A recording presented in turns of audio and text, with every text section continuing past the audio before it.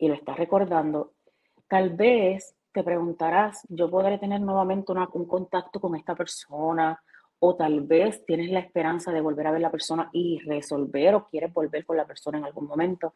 A mí me dice que esta persona ya no regresa.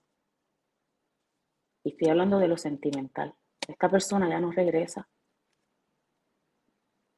Así que si es el caso de que estás recordando a esta persona y estás anhelando que regrese porque tienes la esperanza de volver, eso tienes que soltarlo para que puedas continuar tu vida, porque si no te vas a quedar estancado o estancada esperando a esta persona que va a hacer su vida con alguien más.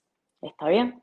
Ahora, si tú estás sensible, sentimental, porque recuerdas a la persona del pasado, pero no es porque le estás esperando y quieras volver, simplemente que estoy, saludos mami,